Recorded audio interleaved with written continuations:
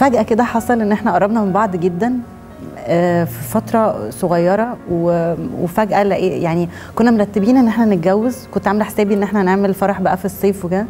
فجأة طارق قال لأ يلا بينا. أنا أيوه. نفسي أعمل فرح بصراحة. أنا أصلا كنت عايزة أعمل فرح على بحر.